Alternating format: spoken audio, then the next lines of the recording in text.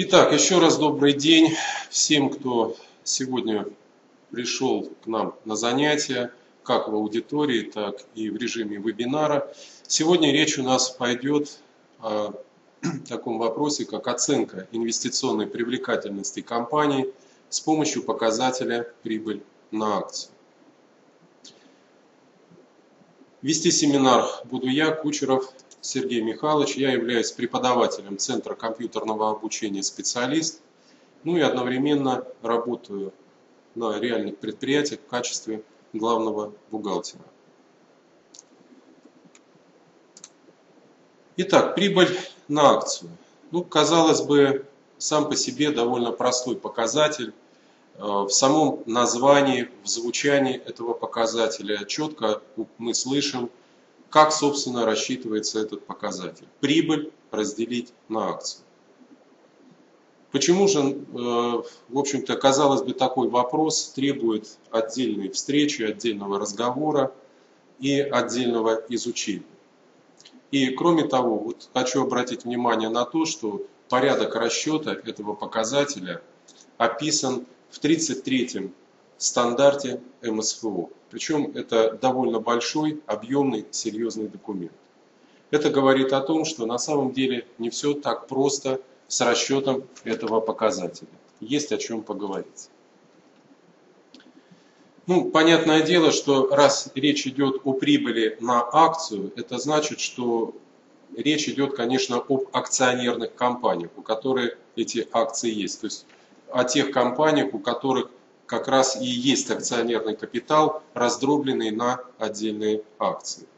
Ну и, конечно, вот эти акционерные компании, они, э, чьи акции вращаются на организованном рынке, они в рамках раскрытия информации о своей деятельности, в примечаниях бухгалтерской финансовой отчетности, в обязательном порядке должны раскрывать этот показатель как за отчетный год, так и за предыдущие отчетные периоды для того, чтобы можно было сравнить эффективность работы компании. Почему такой интерес к этому показателю, в чем его преимущество может быть перед какими-то другими показателями, я об этом поговорю ближе к концу нашего занятия. А сейчас мне хотелось бы все-таки довести до вас информацию о том, как данный показатель следует рассчитывать и какие сложности, какие так сказать, проблемы возникают при его расчете. Итак, вот вы сейчас видите формулу, по которой рассчитывается прибыль на акцию. Мы должны поделить чистую прибыль, которая достается акционерам материнской компании после того, как мы вычтем из этой прибыли дивиденды по привилегированным акциям. И вот эту прибыль необходимо разделить не просто на количество акций, находящихся в обращении, а на их средневзвешенное количество. Ну, сразу хочу сказать, что если, конечно, компания в течение года никаких эмиссий акций не производила, то средневзвешенное количество акций будет, конечно, равно просто количеству акций, находящихся в обращении. Но для начала я хочу несколько более внимательно отнестись к показателю чистой прибыли, остающейся после вычета дивидендов по привилегированным акциям. Ну, во-первых, я, поскольку не знаю, насколько вы э, знакомы э, вообще с темой акций, э, с этой терминологией, поэтому я позволю себе какой-то короткий комментарий по поводу того, что такое привилегированные акции, что такое обыкновенные акции, в чем между ними различие. У любого акционерного общества прежде всего акционерный капитал формируется из обыкновенных или простых акций. Эти обыкновенные акции, они дают возможность акционеру, владельцу этой акции, участвовать в управлении компанией.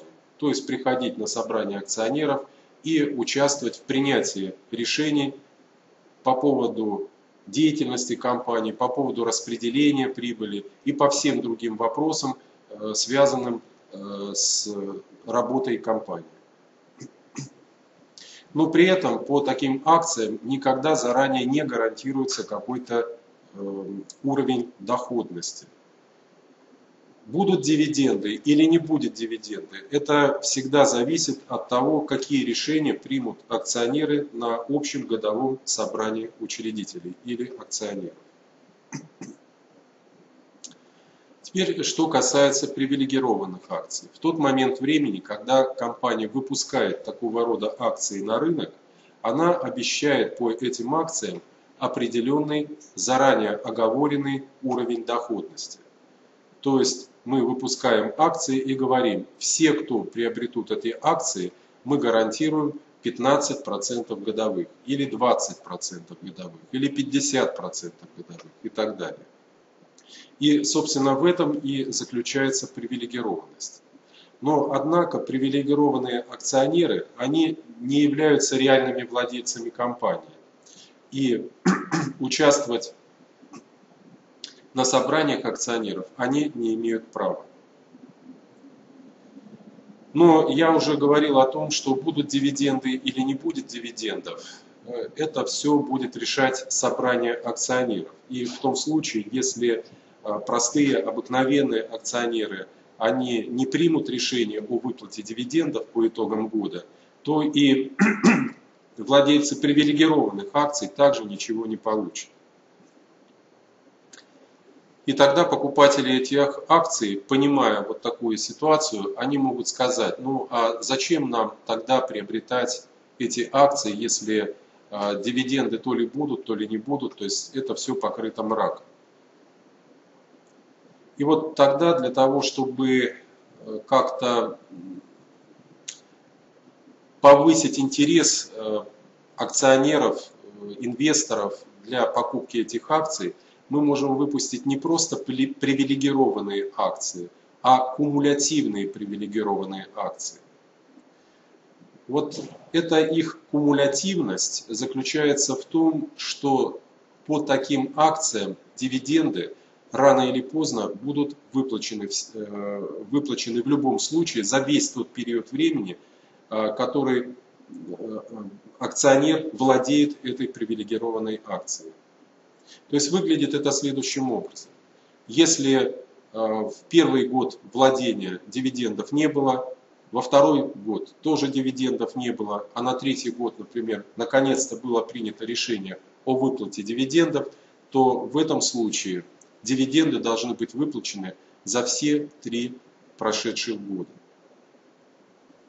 Так вот, в связи с тем, что по кумулятивным привилегированным акциям дивиденды будут выплачены в любом случае, то в 33-м стандарте МСФО сделана отдельная оговорка по этому поводу, что если у нас есть в обращении привилегированные кумулятивные акции – то при расчете прибыли на акцию, при определении чистой прибыли, которая остается в распоряжении акционеров материнской компании, дивиденды по кумулятивным привилегированным акциям нужно вычесть даже в том случае, если дивиденды не выплачивались. То есть вот сейчас вы как раз на экране и видите вот то, что я сказал. То есть если акции являются кумулятивными привилегированными акциями, то дивиденды по этим привилегированным акциям должны быть вычтены при расчете показателя прибыли на акцию в обязательном порядке. То есть было объявление или не было объявления, это никакого влияния не оказывает.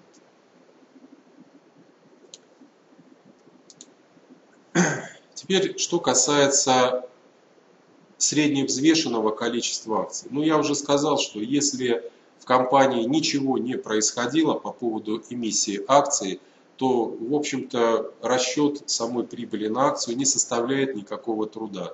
То есть, действительно, взяли по отчету о прибылях убытках прибыль, которая остается после налогообложения, после того, как мы поделимся этой прибылью с неконтролирующими акционерами. Вот все, что осталось в распоряжении акционеров материнской компании, мы просто поделим на то количество акций, которое находилось в прошедшем году в обращении. Но э, акционерные общества в течение прошедшего года могут выпускать различные финансовые инструменты и прежде всего осуществлять выпуск акций и выпуск акций по обычной полной рыночной цене. И вот в этом случае нам приходится озаботиться тем, чтобы рассчитать этот, это среднее взвешенное количество акций, которые находились в обращении. Вот давайте мы посмотрим сейчас два примера, каким образом мы будем в этом случае рассчитывать прибыль на акцию. Ну, вот первый пример э, здесь будет сейчас приведен на слайдах, а второй пример я покажу вам отдельно, как мы рассчитываем в этом случае средневзвешенное количество акций. Итак, мы видим, что у некой компании в 2007 году было 800 тысяч акций. 800 тысяч акций. И эта цифра была у нас на начало года и в прошлом году.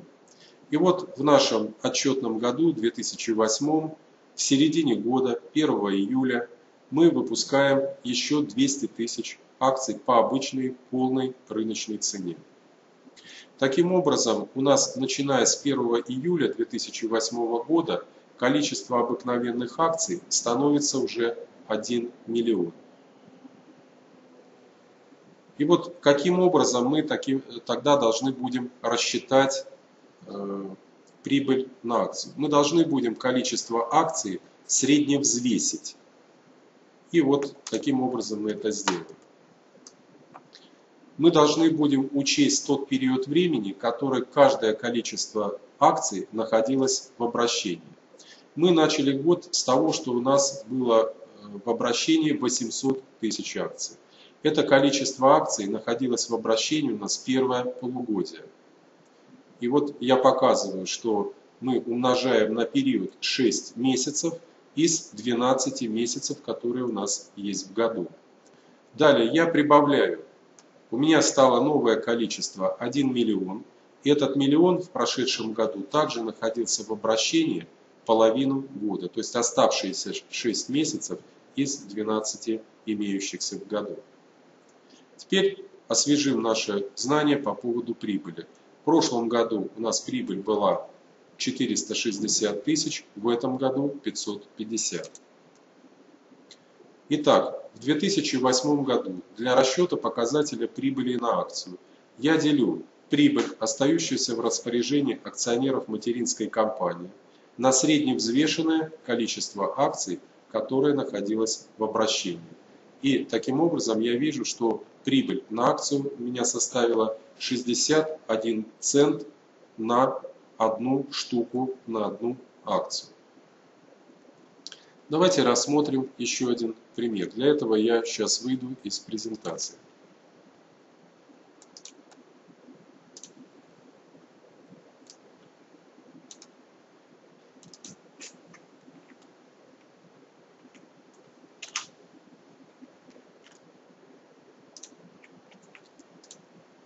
Итак, пример расчета прибыли на акцию при выпуске акции по обычной рыночной цене. Прочитаем условия данной ситуации. На начало года 2012 у нас находилось в обращении 1 миллион штук обыкновенных акций.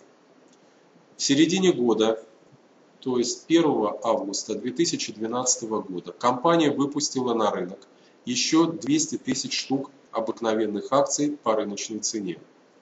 Нам известна прибыль, которая осталась в распоряжении акционеров материнской компании на отчетную дату. Она составляет 400 тысяч долларов. Нам необходимо, конечно, сначала рассчитать средневзвешенное количество акций, находящихся в обращении, а затем после этого мы будем в состоянии рассчитать показатель прибыли на акцию за прошедший год. Итак, первое, что мы сделаем, это мы рассчитаем средневзвешенное количество акций.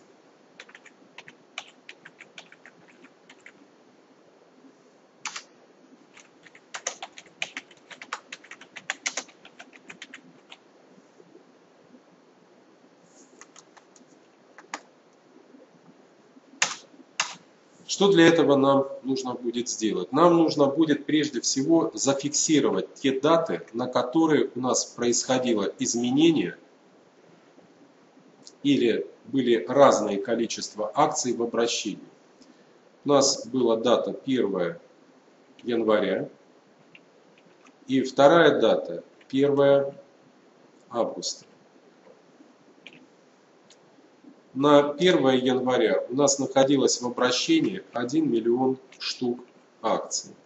На 1 августа у нас в обращении было миллион двести. Теперь вот эти количества акций мы должны средневзвесить, то есть учесть тот период времени, который эти акции находились в обращении. 1 миллион штук у меня находились в обращении 7 месяцев из 12, которые у нас есть в году. И я 1 миллион умножаю на 7 12. Миллион двести у меня находились в обращении оставшиеся 5 месяцев, опять-таки из 12.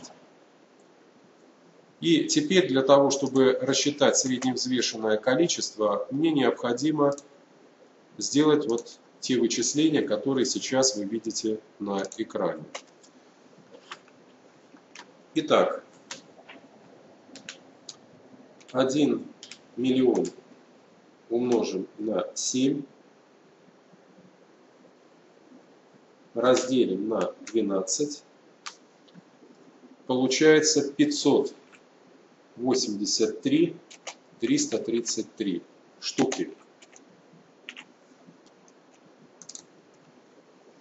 Результат второго вычисления. Миллион двести умножаем на 5, делим на 12, получается 500 тысяч.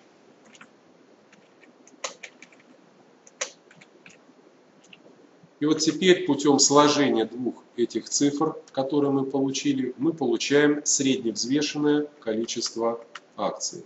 Это будет 1 миллион 83 тысячи 333 штуки акций.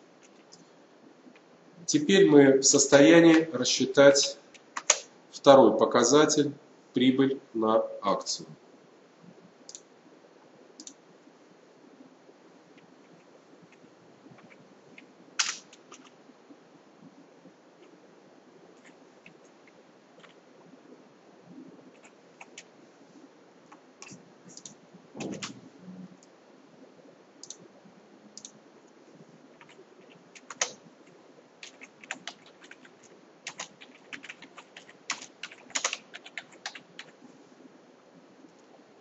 Итак, мы берем прибыль, которая остается в распоряжении акционеров материнской компании. 400 тысяч долларов. И делим на полученную нами цифру, средневзвешенное количество акций.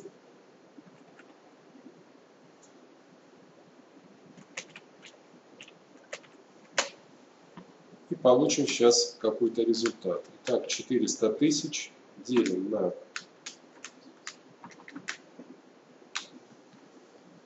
36,9 цента.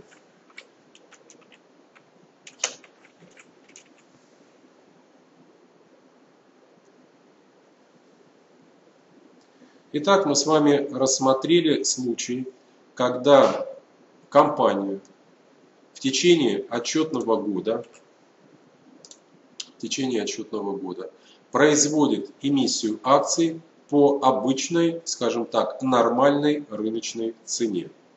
И рассмотрели, как в этом случае у нас рассчитывается средневзвешенное количество акций. Рассмотрим другой случай, связанный также с эмиссией акций в течение года. Это у нас будет так называемый бонусный выпуск акций. Что такое бонусный выпуск акций? Дело в том, что когда компания выпускает акции, и прежде всего, конечно, акции по рыночной цене, у нас практически всегда образуется эмиссионный доход. Это разница между номиналом акции и той суммой, которую уплачивают покупатели акций в момент их приобретения. Акционерный капитал у нас при этом, он формируется исключительно только по тому номиналу акций, который, скажем так, на акции указан. Сумма превышения, которую э, покупатель переплачивает сверх номинальной цены акции, будет отражаться как эмиссионный доход. Ну, в терминологии российского бухгалтерского учета мы это привыкли называть частью добавочного капитала. Почему этот э, эмиссионный доход у нас все-таки возникает? Почему происходит вот эта покупка акций по цене выше номинала? Дело в том, что любой эмитент акций, который выходит на рынок со своим предложением, он, конечно же, рынок об этом предупреждает.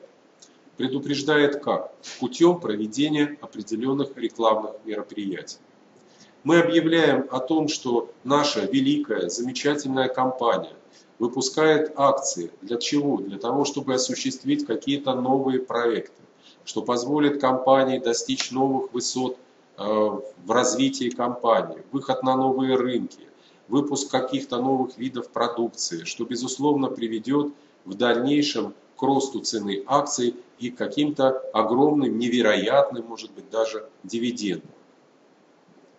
И вот это э, возбуждает интерес со стороны инвесторов к акциям. Они начинают делать заявки на покупку.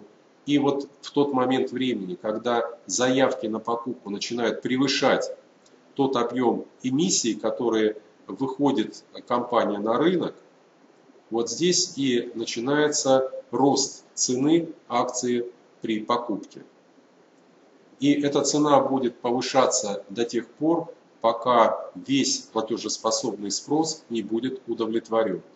Соответственно, э, какие-то инвесторы будут уменьшать свои аппетиты при покупке акций, то есть они будут из-за того, что цена будет расти, они будут уменьшать э, свои потребности при покупке акций. Но таким образом цена на тысячную, например, акцию может установиться на уровне полторы и две тысячи, и три тысячи, в зависимости от того, насколько велик интерес рынка к этим акциям. Таким образом, вот эта сумма переплаты акционера при покупке акции сверх номинала и будет у нас в бухгалтерском балансе показана в пассиве как эмиссионный доход. Так вот, за счет этого эмиссионного дохода мы вполне можем принять решение выпустить бесплатный, так называемый бонусный выпуск акций. Абсолютно бесплатно, уже существующим акционерам. Мы можем дополнительно раздать акции. И вот сейчас мы посмотрим, каким образом вот этот бонусный выпуск акций повлияет на расчет показателя прибыль на акции.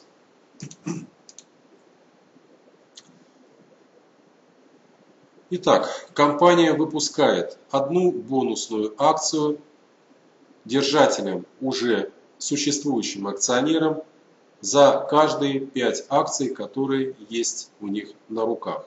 То есть соотношение имеешь 5 акций, получи одну бонусную. Имеешь 10 акций, получи 2 бонусных и так далее. И вот что мы здесь видим. Значит, у нас в 2007 году количество обыкновенных акций был 1 миллион. Поскольку мы осуществляем бонусную эмиссию 1 к 5, то 1 миллион я поделю на 5 штук, и получается, что еще одну пятую часть мы выпускаем дополнительно на рынок. Таким образом, количество обыкновенных акций, которые находятся в обращении в 2008 году после 1 июля, становится уже 1 миллион 200 тысяч. Каким же образом э, повлияет вот этот бонусный выпуск акций на средневзвешенное количество акций – ну и, конечно же, на сам показатель прибыли на акцию. как в 2007, так и 2008 годах. Повлияет следующим образом.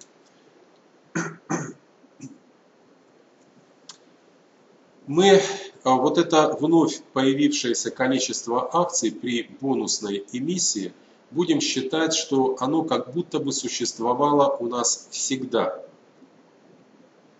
И получается, что мы э, все предыдущие расчеты, связанные с прибылью на акции, скорректируем с учетом вновь появившегося количества акций. Вы видите, что для того, чтобы у нас отчетные данные были сопоставимы, мы не только применяем новый показатель э, количества акций к текущему году, но и применяем его в отношении показателей прошлых лет. То есть мы пересчитываем ранее рассчитанный показатель прибыли на акцию, который был в прошлом году, с учетом вот этих новых обстоятельств. Давайте посмотрим еще один пример. Также я выйду сейчас за рамки презентации, покажу еще один пример расчета. Чуть-чуть, может быть, более подробный.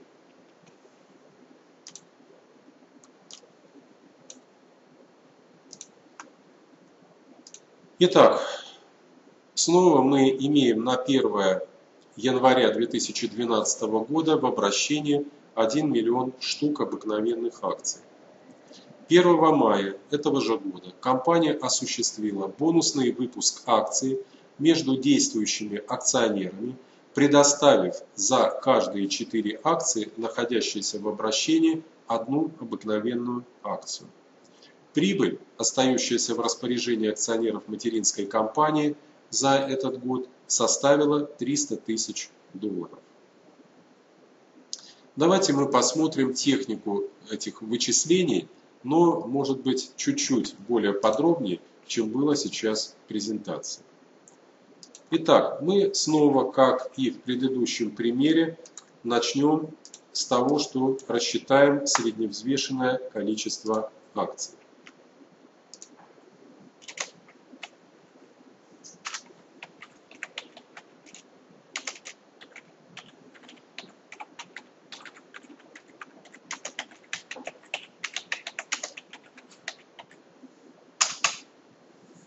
Для этого мы, так же как и в предыдущем случае, зафиксируем даты, на которые у нас были различные количества акций в обращении.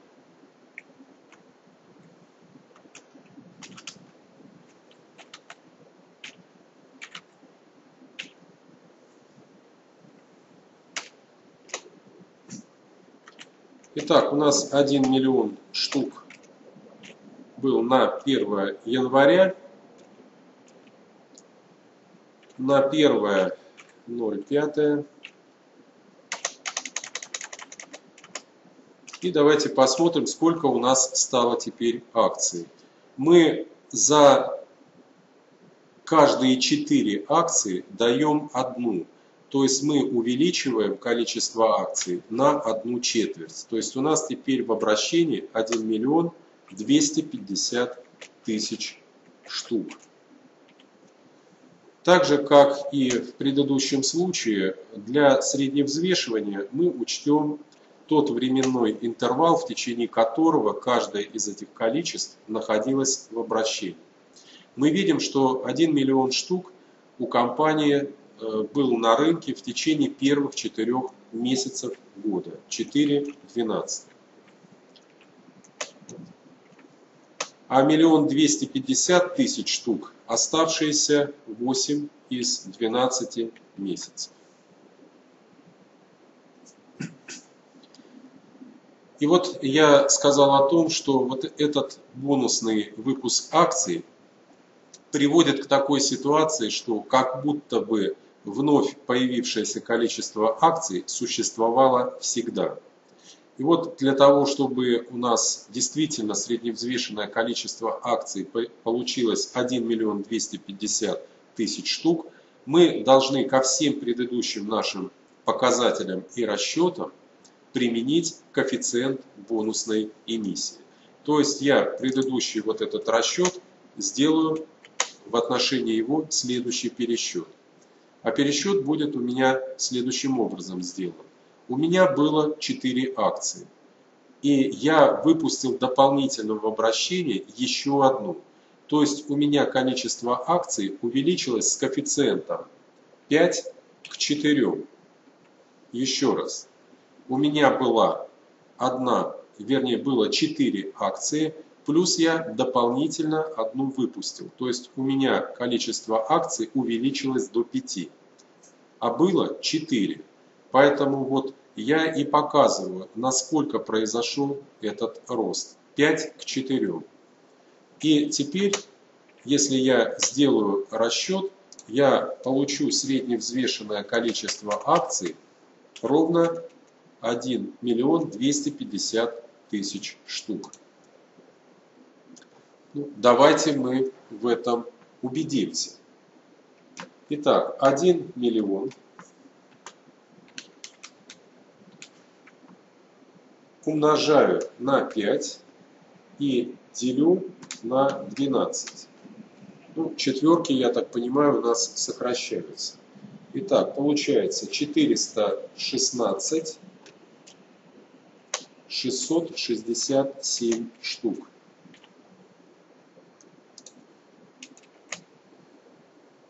И второй расчет миллион двести пятьдесят умножаю на 8 и делю на 12.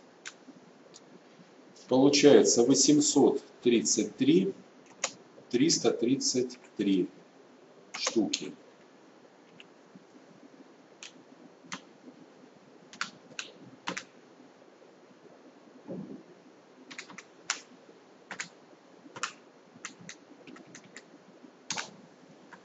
И действительно, как я и говорил, у нас получается средневзвешенное количество акций 1 миллион 250 тысяч штук.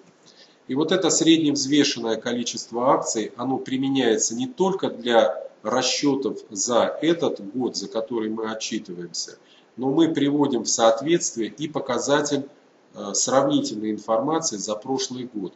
То есть прибыль на акцию за 2011 год нужно будет также пересчитать э, с учетом вновь появившихся у нас в обращении акций. Теперь мы рассмотрим еще один вариант выпуска. Это выпуск прав. Ну, давайте вернемся сейчас к презентации.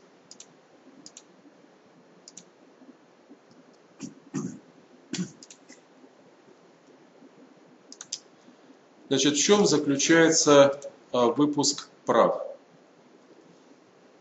Для того, чтобы, видимо, а, сделать ну, что-то приятное уже существующим акционерам, а заодно все-таки и привлечь э, дополнительные средства в компанию. Компания может объявить о выпуске прав для существующих акционеров на покупку дополнительного пакета акций но по цене несколько ниже, чем цена, установившаяся на рынке. Ну, то есть такую вот льготу предоставить. И получается такая ситуация, что в принципе действительно у акционеров появляется интерес э, к покупке таких акций, поскольку они понимают, что они экономят, они покупают дешевле, чем эти акции находятся в продаже на рынке. Но в этом случае нам также приходится делать пересчеты. Пересчеты при определении средневзвешенного количества акций. Причем э, здесь мы будем учитывать коэффициент льготной эмиссии. И вот э, сейчас я покажу вам пример – Опять-таки, наверное, я выйду сейчас за рамки презентации для того, чтобы мой пример был более нагляден и я мог сделать эти расчеты прямо на глазах у слушателей.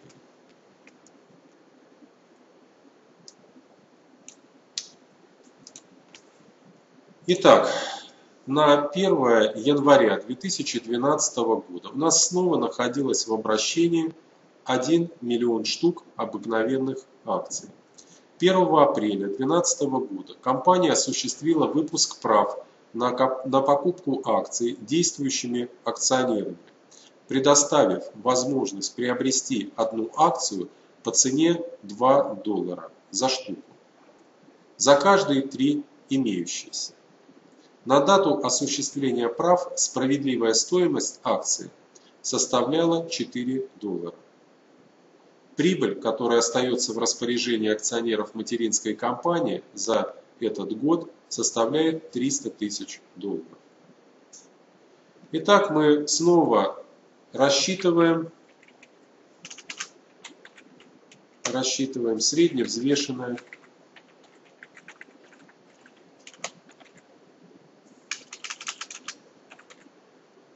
количество акций.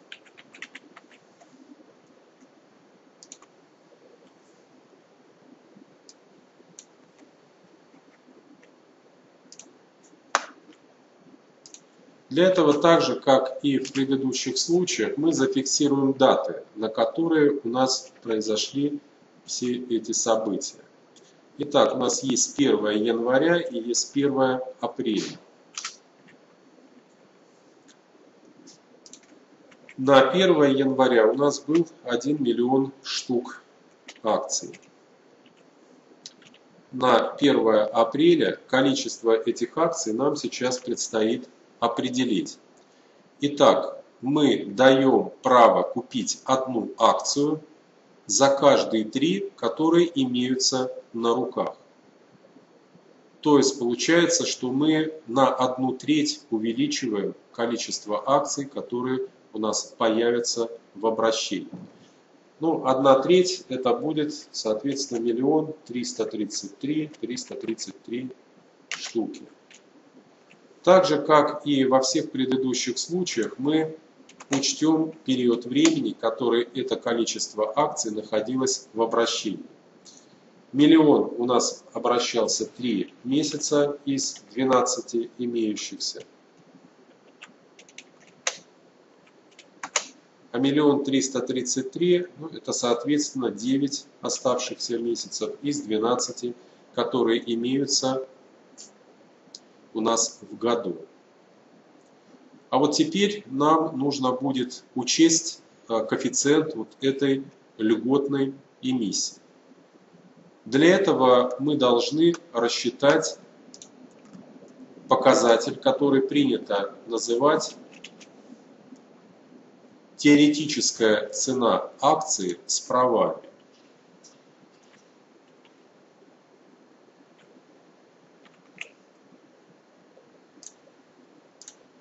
Расчет будет выглядеть следующим образом. Итак, у нас за каждые три дается одна. То есть у нас было три акции.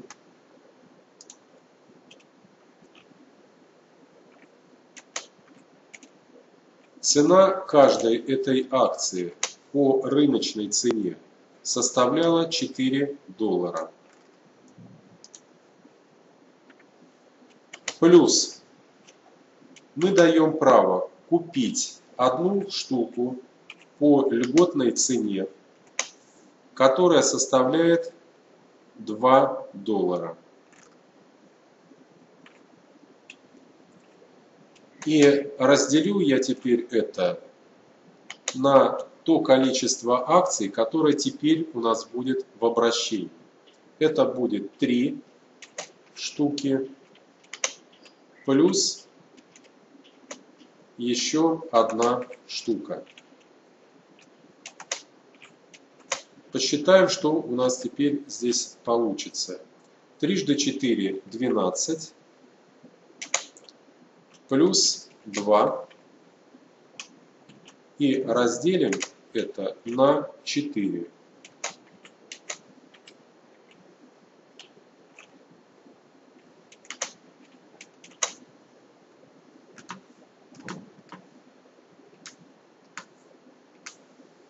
Три с половиной. Итак, теоретическая цена акции после реализации прав, которые мы предоставляем акционерам, станет 3,5 доллара. И вот коэффициент этой льготной эмиссии – это будет соотношение рыночной цены акции к, э, к стоимости акции, теоретической стоимости акции с правами.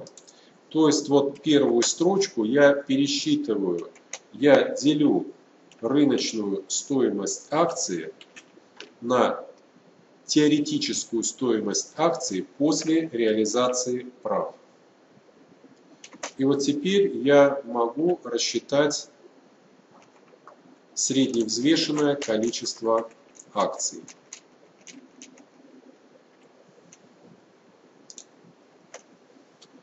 Здесь мне придется все-таки воспользоваться а, калькулятором. Ну, а, во-первых, замечу, что мы умножаем на 3 и на 4, это будет 12, трижды 4, так, трижды 4, 12, и делим на 12. Так. Значит, мне достаточно 1 миллион разделить на 3,5. Это будет 285 714 штук.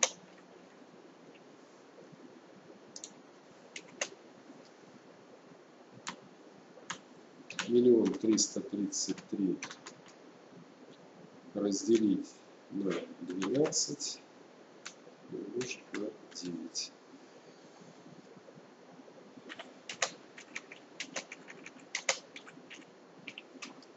Итого средневзвешенное количество акций, которое мы здесь получим, это будет 1 миллион 285 тысяч 714 штук. И теперь мы э, можем рассчитать показатель прибыли на акцию.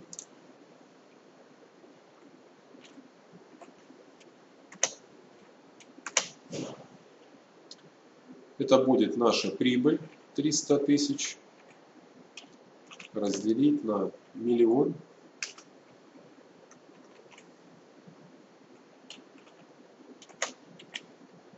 285 714.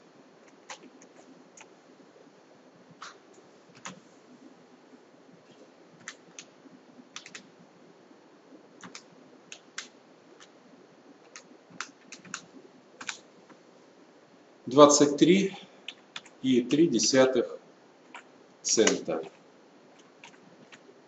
на одну акцию.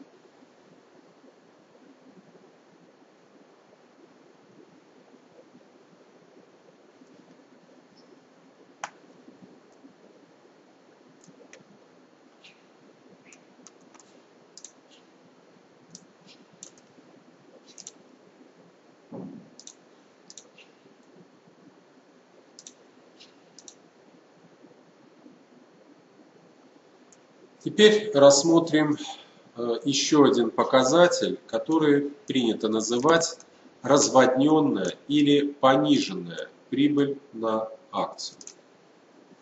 О чем здесь идет речь? Дело в том, что международные стандарты финансовой отчетности, они составителям бухгалтерской финансовой отчетности говорят практически следующее, что вы должны дать любую возможность тому лицу, которое анализирует бухгалтерскую финансовую отчетность вашей компании, сделать прогнозы на будущее. То есть не просто оценивать результаты работы компании в прошлом, но и дать возможность предугадать, а что будет завтра, послезавтра, через год, через два. То есть дать возможность сделать прогнозный анализ. И вот в том случае, если у компании на рынке вращаются финансовые инструменты, которые могут в будущем привести к снижению показателя прибыли на акцию, то мы должны, конечно, об этом предупредить действующих акционеров. То есть показать им, что вот в результате каких-то событий у нас в будущем может вдруг понизится прибыль на акцию. И таким образом ваши доходы, они в той или иной мере снизятся. И вот а, за счет каких, а, собственно, финансовых инструментов все это и может произойти. Это может произойти прежде всего за счет того, что компания может выпустить так называемые конвертируемые облигации. Что это такое? Конвертируемая облигация. Конвертируемая облигация – это заемный инструмент, который подтверждает, что компания заняла у кого-то денежные средства на определенных условиях, и при этом по этому финансовому инструменту выплачивает определенный процент дохода. При этом компания, как правило, обещает несколько более низкий процент, нежели те процентные ставки, которые сложились на рынке. Но для того, чтобы потенциальные покупатели все-таки согласились на более низкую доходность, мы говорим им, что да, вы сегодня потеряете на том, что будете получать более низкие проценты. Но мы вам даем не просто облигацию, мы вам даем облигацию конвертируемую, и по прошествии какого-то времени, строго оговоренного вот в этой эмиссии, вы сможете обменять свои облигации на акции нашей компании. Причем, посмотрите, мы предлагаем вам довольно заманчивый а, обмен. Я имею в виду количественное соотношение, которое явно демонстрирует а, владельцам этих облигаций выгодность этой сделки. Всегда можно посмотреть, сколько стоит акция на рынке, сколько вы заплатили за эту облигацию и посмотреть, какой обмен вам предлагают. Один к одному, один к двум и так далее. И вот здесь покупатель может увидеть, что да, действительно, хорошо, пусть я буду даже в два раза меньше получать два года проценты, но зато потом в результате вот этого такого замечательного обмена я компенсирую свои потери процентные за счет того, что вместо одной, например, тысячи долларовой облигации я получу акцию, которая на рынке стоит 2000 долларов. И вот э, в результате этого обмена произойдет, конечно же, э, такое непростое влияние на показатель прибыли на акцию. Так вот, что же произойдет? если владельцы этих конвертируемых облигаций вдруг примут решение воспользоваться предоставленным им правом конвертации.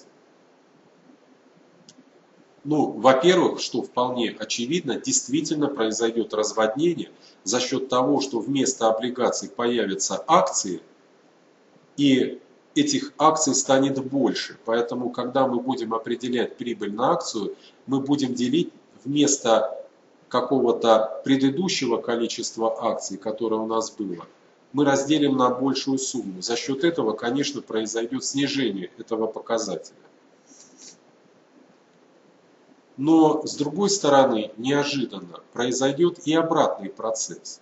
Дело в том, что э, если произойдет конвертация, то есть превращение вот этих заемных облигаций в акции – то компания начнет экономить на выплате процентов. То есть процентные обязательства, они не будут уменьшать прибыль компании.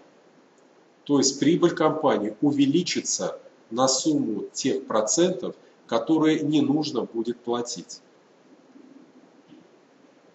То есть мы к прибыли компании прибавим сэкономленную сумму процентов. Но с другой стороны, как только мы увеличим прибыль на сумму вот этих процентов, у нас налог на прибыль увеличится. То есть нужно будет из этого увеличения прибыли вычесть налог на прибыль, связанный с этими процентами. Вот такая, в общем-то, не совсем простая а, ситуация. То есть происходит два противоположных действия.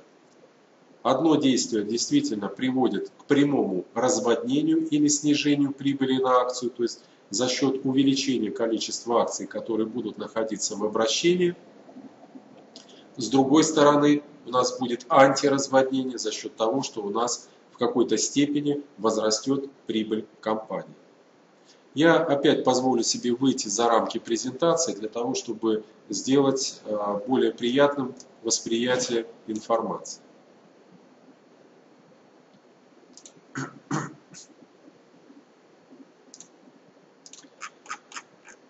Итак, конвертируемые облигации. 1 января 2012 года акционерный капитал компании составлял 1 миллион обыкновенных акций номинальной стоимостью 1 доллар. За отчетный период, закончившийся 31 декабря 2012 года, изменений в акционерном капитале не было. 1 июля 2012 года компания осуществила эмиссию 5% облигаций на сумму 100 тысяч долларов. Владельцы облигаций могут воспользоваться правом конвертации, либо потребовать их погашения по номинальной стоимости. При конвертации до 1 июля 2014 года каждая 1000-долларовая облигация конвертируется в 2000 обыкновенных акций, а при конвертации до 1 июля 2015 года в 1800 обыкновенных акций. Прибыль после налогообложения за отчетный период составляла 250 тысяч долларов.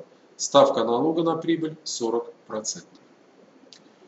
Прежде чем мы приступим к расчетам, я хочу обратить внимание на те условия, которые мы предлагаем для конвертации владельцам облигаций. Обратите внимание, что здесь даются различные условия.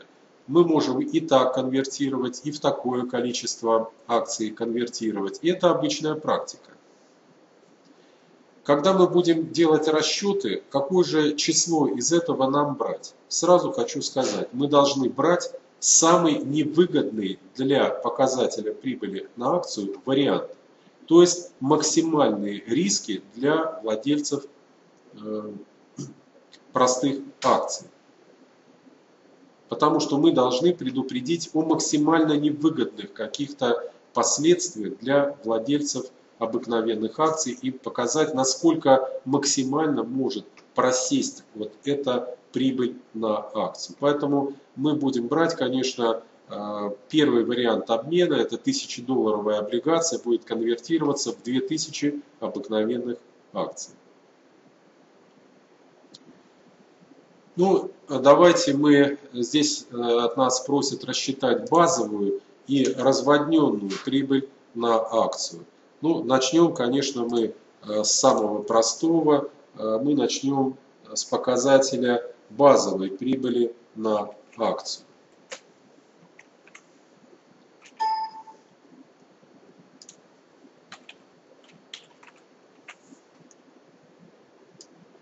Базовая.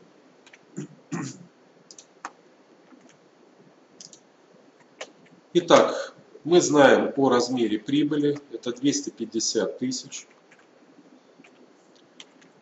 У нас в обращении 1 миллион штук акций, и мы получаем 25 центов. Это прибыль, приходящаяся на одну акцию. Ну, а теперь для того, чтобы нам рассчитать разводненную прибыль на акцию, то есть предупредить о возможных негативных последствиях уже существующих владельцев, о том, что в дальнейшем есть угроза снижению этой прибыли на акцию и насколько она может снизиться. Вот для этого мы должны сейчас сделать соответствующие перерасчеты. Ну, э, давайте начнем хотя бы э, с того, насколько у нас увеличится количество акций. Итак, расчет разводненного количества акций. Итак, у нас а, всего 100 тысяч долларов. Это наш займ. Обмен идет у нас следующий. Каждая тысячедолларовая облигация будет конвертироваться в 2000 штук акций. То есть у нас получается, что э, будет у нас здесь э, сколько? 200, 200 э, тысяч штук. Но мы должны здесь учесть те обстоятельства, что сама эмиссия, она у нас происходит не в начале года, а в середине. То есть я здесь должен учесть фактор влияния времени и взять 0,5 года. Мы сейчас 1 июля осуществили эту эмиссию. Таким образом, у нас получается разводненное разводнение произойдет на 100 тысяч штук. То есть новое количество акций разводненное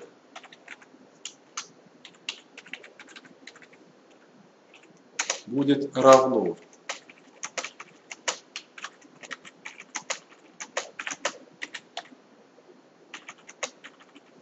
один миллион сто тысяч штук.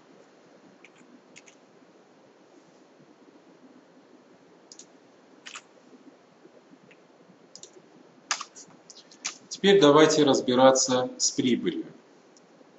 С прибылью, как я уже сказал, произойдет обратный, эффект. Я бы назвал его антиразводнение. И давайте так я и запишу. Антиразводнение прибыли. Итак, как я уже а, говорил, антиразводнение будет связано с тем, что в результате конвертации компании больше не нужно будет начислять проценты по этим облигациям. И экономия на процентах, она составит 100 тысяч долларов мы взяли в займ, умножаем на 5 процентов, и мы здесь получаем за год мы экономим 5000 долларов. Но опять мы должны учесть, что в данном случае у нас одно полугодие, это год, половина года. И получается, что мы э, как бы прибавим, мы сэкономим э, на этих процентах две с половиной тысячи долларов. Да, мы прибавим эту сумму к нашей прибыли. Но мы помним о том, что чем больше прибыль, тем больше налог на прибыль. Поэтому нам достанется не вся вот эта сэкономленная прибыль э, в размере 2500 долларов, а с учетом ставки налога 40%, нам останется только 60% от этой суммы. Я умножаю на 60% процентов. То, что осталось на 0,6. Таким образом, мы получаем 1500 долларов. И новое значение прибыли будет равно Прибыль у нас была 250 тысяч долларов. Прибавляем 1500. Получаем 251 тысяча 500 долларов. И теперь мы а, можем рассчитать прибыль на акцию разводненную.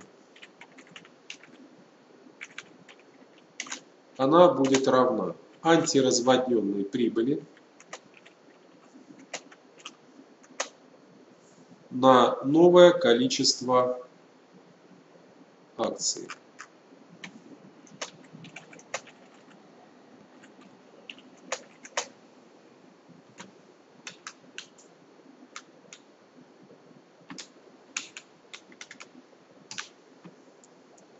Получаем 22 22,9 цента. И вот смотрите, что мы получили. Мы получили более низкий показатель прибыли на акцию 22,9 цента. А до этого у нас нормальная базовая прибыль на акцию составляла 25 центов. Так вот мы в отчетности покажем базовый показатель прибыли на акцию 25 центов, а потом скажем нашим акционерам, что существует угроза снижения этого показателя в будущем, в том случае, если владельцы конвертируемых инструментов воспользуются своим правом, то в этом случае ваши доходы, ваша прибыль на акцию, она вот настолько-то снизится. Много это или мало, это будут решать уже сами владельцы этих акций, насколько для них это будет трагично, скажем так. Но предупредить их об этой угрозе мы обязаны согласно требованиям э, международных стандартов финансовой отчетности. Ну и последний, э, скажем так, вопрос, связанный с разводненной прибылью на акции, это опционы. Суть опциона или э, слово опционы может быть не совсем привычно и не все его знают. Опцион это право. Право на что-то. Так вот, компания может объявить опцион скажем, своим сотрудникам о том, что они имеют право купить какое-то количество акций, но при этом заплатить меньше, чем справедливая рыночная стоимость этой акции. И вот как мы должны относиться к этим опционам, что это такое, как мы будем это воспринимать. Воспринимать мы это будем следующим образом, что как будто бы часть акций по этому опциону будет куплена по нормальной рыночной цене, а какая-то часть, по сути дела, будет роздана бесплатно. И, конечно, в связи с тем, что появляются вот эти как бы бесплатные акции в каком-то количестве, у нас э, произойдет снижение показателя прибыли на акцию. И опять я сейчас выйду за рамки презентации, потому что у нас остается не так много времени. И мне хотелось бы просто успеть э, это рассказать.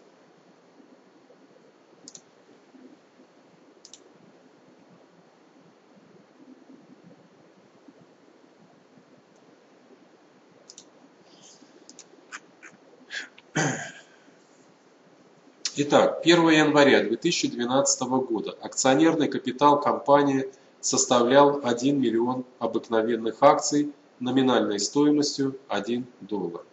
За отчетный период, закончившийся 31 декабря 2012 года,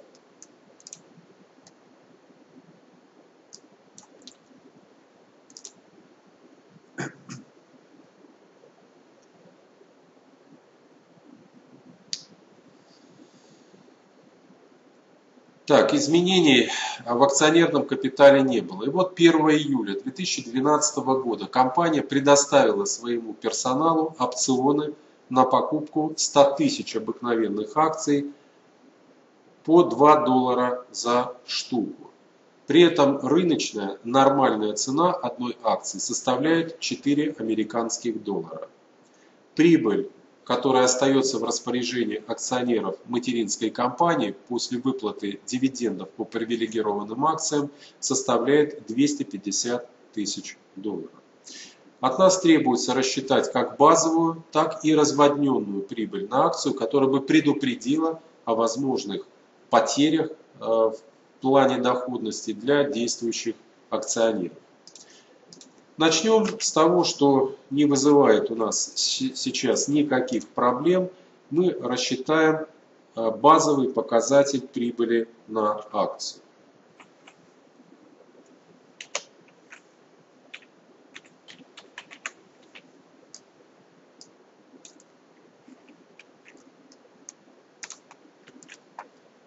Базовая прибыль на акцию будет равна. Мы возьмем прибыль, которая у нас здесь известна, и поделим на количество акций, которые находятся в обращении.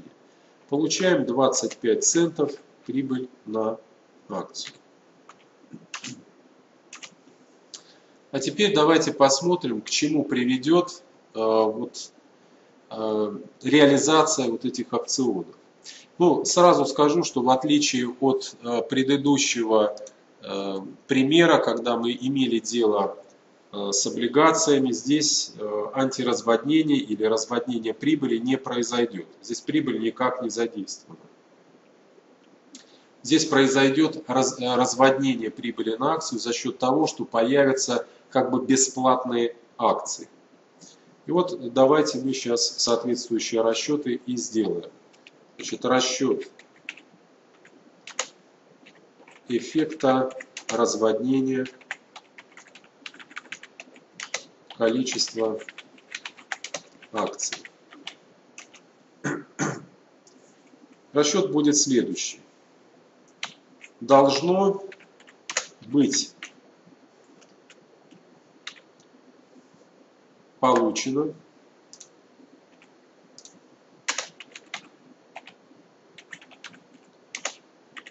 При реализации по рыночной цене. Итак, 100 тысяч штук я должен был бы продать по 4 доллара и таким образом получить при реализации 400 тысяч долларов. Будет получено при реализации по льготной цене. 100 тысяч штук.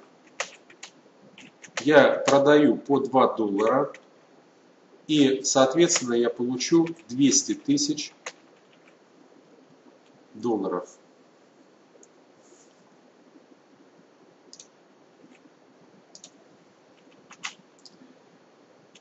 Стоимость бесплатно выданных акций 400 тысяч минус 200 тысяч долларов. Но нам э, для расчета прибыли на акцию нужны не стоимость этих акций, а их количество. Таким образом, э, надо от стоимости перейти к штукам. Итак, количество бесплатных акций 200 тысяч надо разделить на рыночную стоимость акции. Рыночная стоимость у нас составляет 4 доллара. Итого у нас получается 50 тысяч штук. Теперь э, давайте посмотрим, э, какой период времени у нас э, эти опционы действуют. Опять они появились у нас в середине нашего года, поэтому мы этот факт тоже должны здесь учесть. Разводнение, количество с учетом времени выпуска опционов мы 50 тысяч штук умножим на 0,5 года. И получим 25 тысяч штук, которые и будут участвовать в наших расчетах.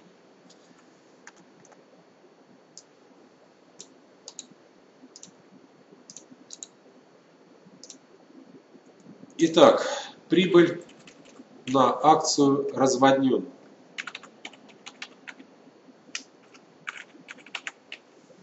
У нас по-прежнему та же самая прибыль, как и была, а вот количество у нас акций, оно будет изменено. 250 тысяч поделим на миллион двадцать пять тысяч штук, и мы получим 24,4 цента. пусть небольшое, но все-таки снижение у нас наблюдается. И об этом снижении, об этих опасностях мы обязаны просто э, предупредить наших акционеров. Итак, я вам рассказал все основные случаи, связанные с расчетом этого важного для любого инвестора показателя. Это и случаи, связанные с расчетом самой прибыли на акцию, а также основные моменты, связанные с разводнением или снижением этого показателя. Ну, а как я и обещал, а сейчас, вот ближе уже к окончанию нашей встречи, я скажу несколько слов о тех достоинствах, которые привлекают внимание акционеров к этому показателю. Почему к нему такой высокий интерес, почему э, этому показателю посвящен аж целый стандарт 33 прибыль на акцию.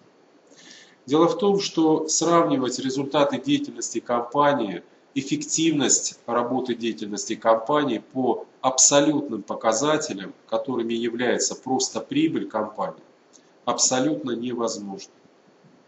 Действительно, в отчетности разных компаний демонстрируются разные показатели прибыли. Кто-то показывает миллиард долларов, кто-то 2 миллиарда, кто-то 100 тысяч долларов. У всех показатели разные. И если я смотрю в отчетность какой-то компании с точки зрения инвестора и вижу там большую цифру прибыли, это вовсе не значит, что эта компания работает более эффективно, чем та компания, которая показывает, например, вместо миллиарда 1 миллион. Потому что надо учитывать масштабы деятельности компании и именно отдачу на тот вложенный капитал, который мы имеем в той или иной компании.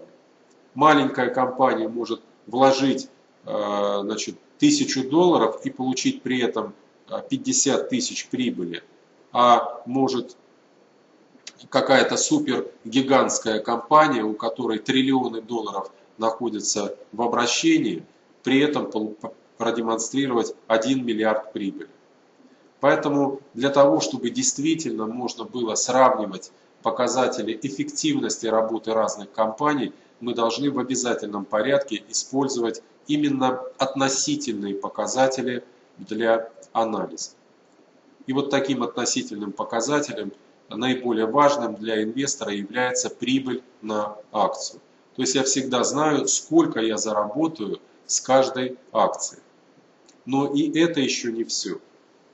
Дело в том, что любой инвестор, которому известен этот показатель, он может очень легко и быстро получить сведения о том, за какой период времени он окупит свои вложения. Для этого достаточно просто взять цену при покупке акции и поделить на прибыль на акцию. И вы поймете, в течение которого срока времени вы, по сути дела, вернете свои денежные средства, вложенные в акции компании, обратно. Например, вы знаете о том, что прибыль на акцию составляет 1 американский доллар. И вам предлагают купить акцию, например, за 3 доллара.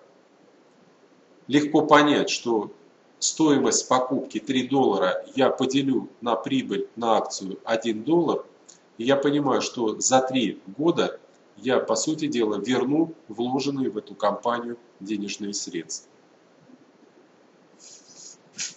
Кроме того, у этого показателя есть еще один такой не вполне очевидный плюс. Это то, что э, вот этот показатель, как мы видели, он всегда учитывает структуру собственного капитала компании за счет того, что происходит вот это в средневзвешивание количества акций, которые находятся в обращении. То есть мы всегда видим изменения а, в структуре капитала, которые а, происходят.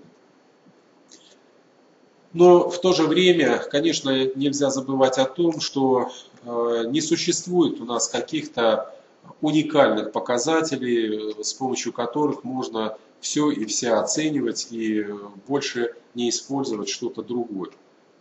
Прибыль на акцию, так же как и любой другой показатель, имеет свои какие-то ограничения, и прибыль на акцию будет зависеть во многом и от учетной политики компании, и от других каких-то моментов. Ну и самое главное, она характеризует э, деятельность компании очень однобоко. Это показатель рентабельности деятельности компании.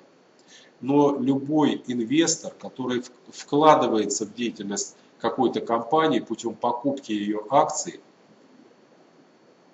понимает, что надо учитывать риски, риски финансовые, риски операционные, связанные с этой компанией.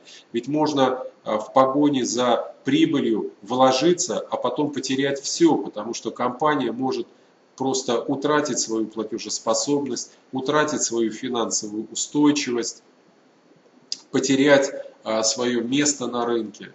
Поэтому, конечно, несмотря на всю важность этого показателя, любой инвестор должен более детально, более глубоко разбираться в деятельности компании, оценивая вот и другие стороны финансовые. Да, прежде всего, конечно, оценивать платежеспособность компании, ее, насколько она финансово устойчива, ее деловую активность. Ну и, конечно, операционные риски.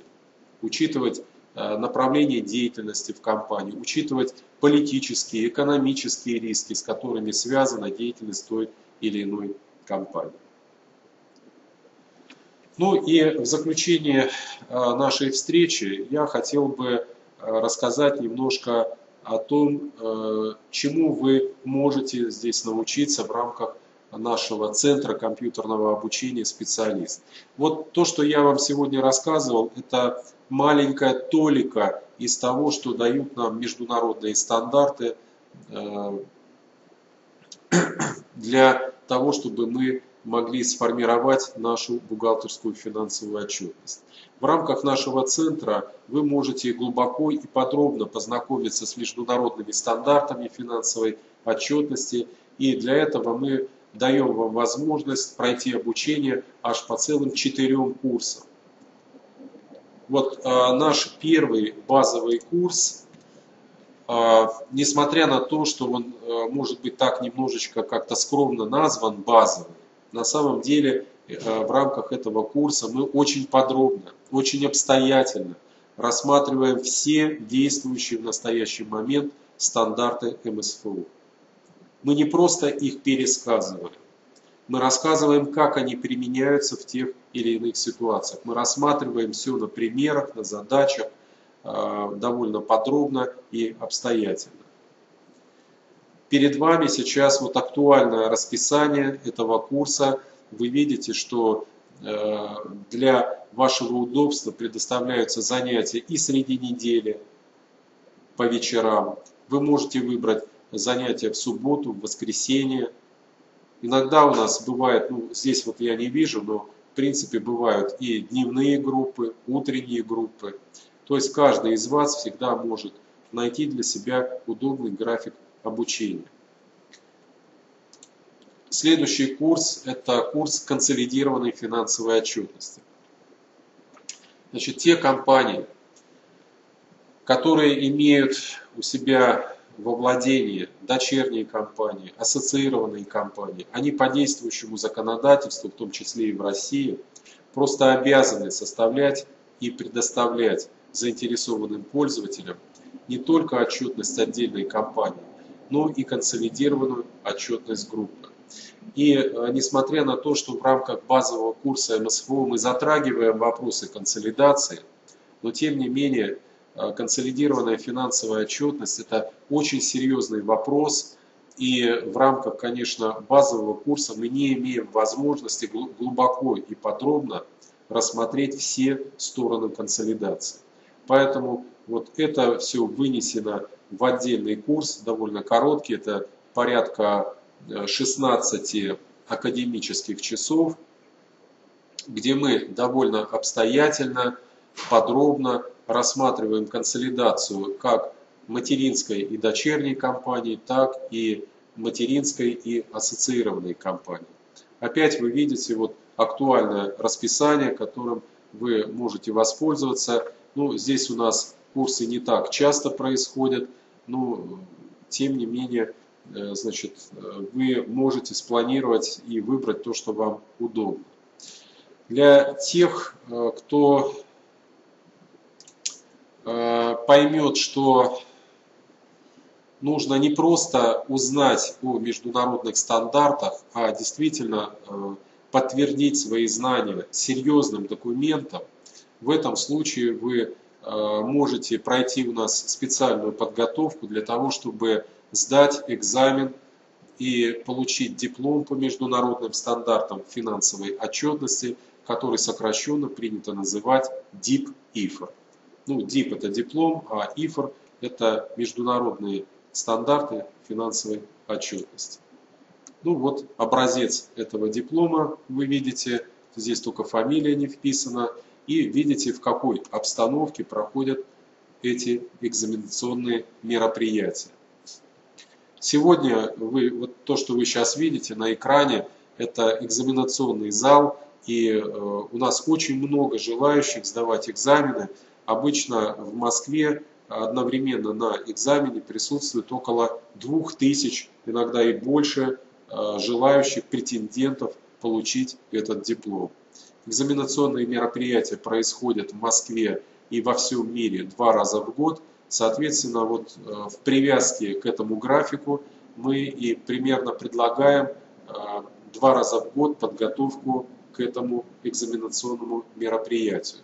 То есть к зимней так сказать, экзаменационной сессии где-то осенью, ну и затем весной для того, чтобы желающие могли подготовиться к летней экзаменационной сессии. Ну и помните, что вот те люди, которые получают дипломы, они получают возможность быстрее занять какие-то выгодные для себя места работы. И вот э, мой Э, так сказать, опыт общения с учащимися в группах. Я всегда спрашиваю, что происходит у кого в компаниях. И вот э, люди мне говорят, я пришел учиться, изучать МСФО по одной простой причине, что у нас специалисты, которые имеют в руках диплом по международным стандартам, имеют заработную плату в полтора-два раза выше, чем те люди, которые занимают такие же должности, но не имеют соответствующего диплома.